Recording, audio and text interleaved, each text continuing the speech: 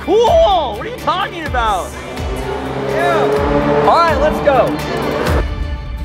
Brayden was our long-term friend that came out to run merch for us. We picked her up from LAX and headed out to the Mojave Desert. Along the way, we went up through Malibu, up all these windy roads, and we got lost. And out there, we stumbled upon one of the most beautiful sunsets we had ever seen. And only then did we realize that this is exactly where we were supposed to be. You know, a lot of times we don't know we're having a moment until we look back. And only then do we realize how special it was and how beautiful life can be.